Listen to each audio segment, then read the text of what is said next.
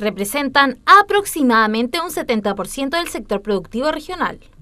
La Confederación de la Producción y el Comercio, más conocida por sus siglas CPC, hace poco tiene como líderes a una nueva directiva, encabezada por el magallánico Carlos Estrada y como vicepresidente a Salvador Arambur. Ambos han dejado ver su postura para esta nueva etapa iniciada. Las preocupaciones de las empresas son, son, las preocupaciones de, de la sociedad. Nosotros hoy día tenemos una preocupación mayor respecto a periodos anteriores, respecto de algunas motivaciones antidesarrollo.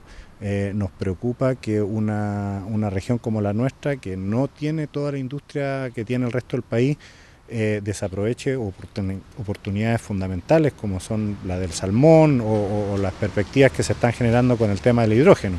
Así es que estamos muy atentos eh, para colaborar en el desarrollo de la industria, en que haya más fuentes de ingresos, en que haya más trabajo y en que no hayan obstáculos a, a la producción y al desarrollo de nuestra región.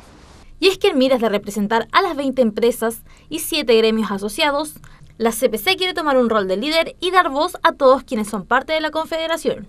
En primer lugar, eh, convocar al empresariado regional, a, a, todas las empresas, comercios que se acerquen a, la CPC, que eh, formemos en conjunto un, puente para poder eh, eh trabajar en pos de, de, la generación de bienestar para los mayánicos.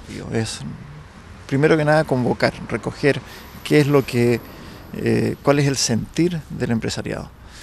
De ahí podríamos eh, trabajar para representarlo lo mejor posible, pero ese es nuestro primer desafío. Avances que quiere tomar la CPC en esta nueva etapa para todos quienes son parte del empresariado local de nuestra región.